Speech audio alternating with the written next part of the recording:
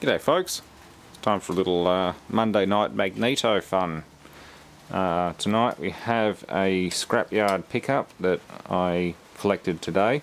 Uh, it was a scrap trade for a, half a trailer load of scrap metal. It's a Bosch high tension magneto. It is a model FF1AR and it looks like it has the exact same gear that I need for this little sundial stationary engine. I did buy a brand new old stock gear off eBay for like 30 bucks, so not particularly expensive, but it does look like the same gear. I'll have to take it off and have a look, but it looks exactly the same. So, I'm guessing this came off a sundial engine. This one didn't, but I was originally going to fit it up with this drive gear. That's a Bosch ZE1. Uh, they're normally about two to three hundred dollars in rebuilt condition.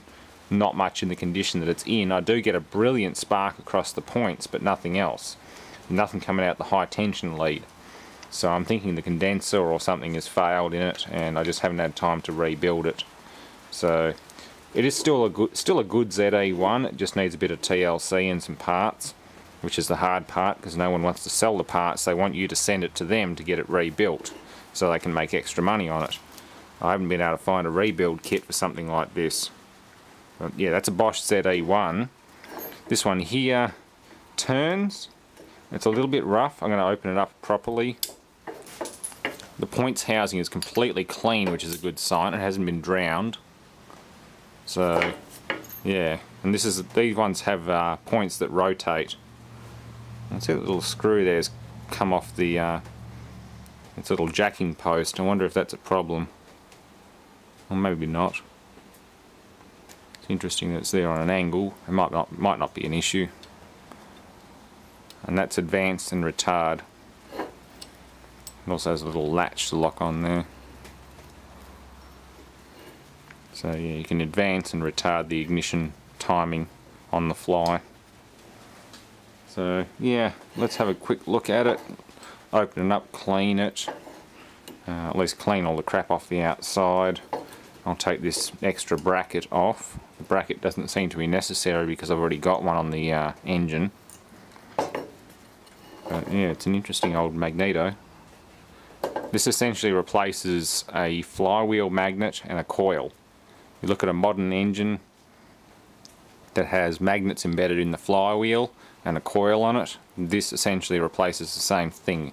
It has points, condenser, coil and magnet all in one. It's a magneto. Uh, multi-cylinder engines have a distributor cap on top of them with multiple outputs. This is a single cylinder engine coil so or magneto so that's the only output. It's degraded but it's still intact enough to be used, cleaned up and used. But yeah, and that's a horseshoe magnet. Same with those two there, they're horseshoe magnets. Old school ignition ignition equipment very sought after. In this condition, not so valuable, but still sought after for old engine nuts like me and a lot of other people I know. A good friend of mine almost had a heart attack when he saw me pick this out of a scrap metal bin one day. Even though it doesn't work yet, it's still a workable or repairable ZE1. As you can see, there's the rotor. Hence the Bosch symbol, the Bosch logo is, uh, it's not on this one, but it looks like two horseshoe magnetic poles. And that's exactly what they were before. That's, that's what the symbol on the Bosch logo means. It's part of their, uh, their magneto systems. They were manufacturing aircraft magnetos in the early teens, I think, 20s. Can't remember when Bosch started making uh, magnetos, but the uh, trademark symbol, the circle with the two poles, rotating poles inside it, is uh, based on a magneto. Yeah, that one there. You can see the two rotating poles and the outer casing. Okay, well, after a bit of a clean up, this one shows a bit more promise than the uh, ZE1. I am getting a spark off the output, to ground, but not much.